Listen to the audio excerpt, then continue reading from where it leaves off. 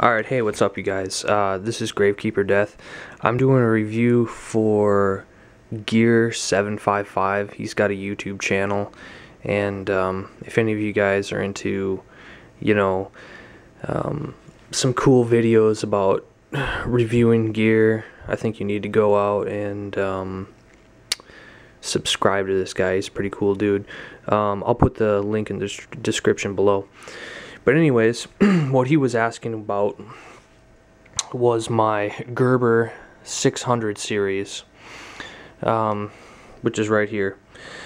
Now, I decided to turn this into a dual review of two different multi-tools because these are the two that I was issued by the U.S. Air Force.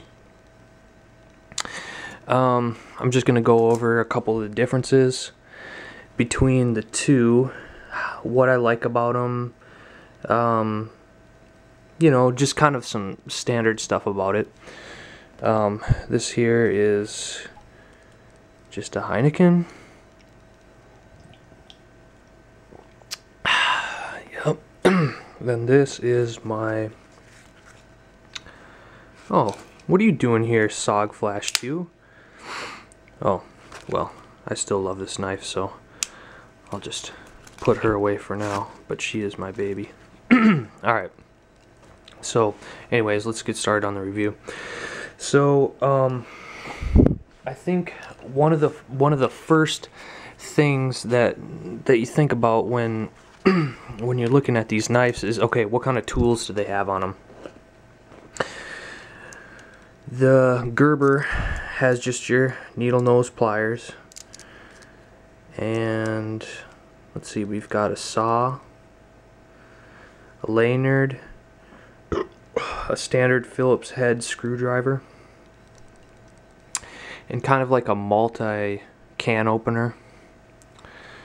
On the other side you have kind of a know, a dual-sided um, yeah wow I'm stupid yeah, it's a it's a dual-sided. Um,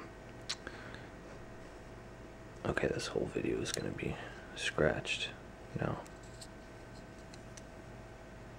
Yeah, it's a file. Anyways, okay. Now this is your blade. It's pretty stupid. Um, it's not even a knife. It's just a blade. I think they were going for a under three inches thing with this, but whatever. Um, okay, now we've got another can opener, and then your just regular flathead screwdriver, I think. Then here's another regular flathead with I don't know, something on there. I don't know what, what that originally is designed for. Maybe it's another can opener. Maybe Gerber thought that you'd be stuck out in the woods with you know, the need for one, two, three different types of can openers, but whatever, who cares. Anyways, they all lock in like this. And the locking mechanism's here. So let's say I take out the knife.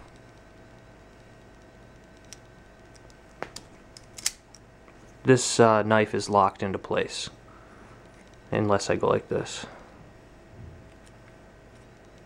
and then I can close it. Now, to put the needle nose in, you push on these two buttons on the side, and it locks in like that. Which is kind of nice, because deployment, if you just want to use the needle nose pliers, you can go like this. Just whip it out like that, and that's why sometimes people will call it like the Gerber flick or, or whatever. Just go like that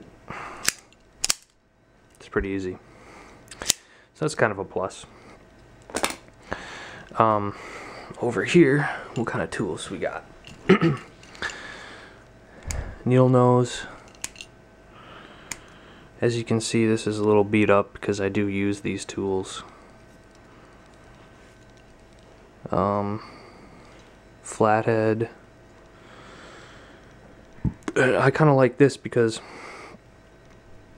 this is a mini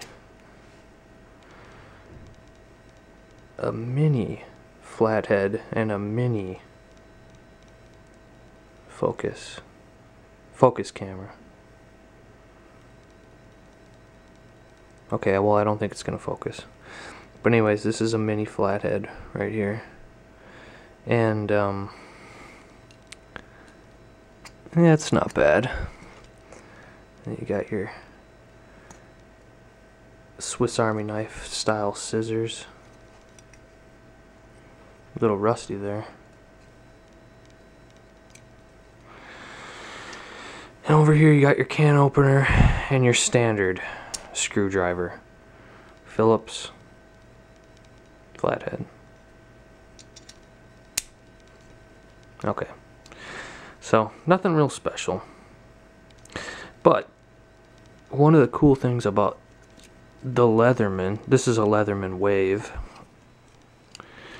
is when it's closed, you can deploy a saw with one hand, or you can deploy a full-size knife with one hand. So I really, I really kind of like that option. I think that's really nice. And then over here on the other side you have a another wood cutting saw. A little bit more fancy than the other one. And then we got your file here. So this one's got a little bit more tools than the Gerber actually. But um, I don't know, I like them both. I think Leatherman's been around for a little bit longer. I, I could be wrong on that, but I think they've been making multi tools for a little bit longer and um, maybe, I don't know, they've got their shit together a little bit better, but I could be wrong on that. Um, I'd have to say the sheaths, I like the Gerber one better. It's got some padding on the inside and it's just really comfortable to wear. But it only gives you the option of wearing it with your belt going through this way.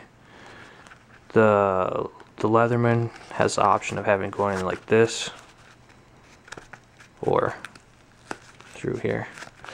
So that ain't too bad. So I think the Leatherman wins on having compactness, but the Gerber's better for comfort. And I also think that the Gerber's good if you're working on something where you need to use a needle nose or let's say you're an electrician or you're into the communications like I am and you need to strip wires and whatnot this is really nice because you can change out these little um, wire stripping pieces to whatever you need. If they get dull if you need different sizes. So I, have always kind of liked that. And um, let's see.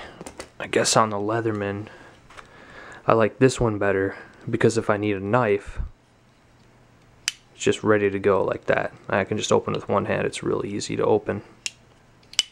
So I actually like carrying both of these knives or both of these multi-tools. I pretty much got them both for free from the military so you know I'm not going to complain about it. Like I've said before you can't really complain about getting something for free. But, um, anyways, that's just kind of some things that I, uh, that I, um, wanted to say about it, and I hope you guys liked the review. Take care.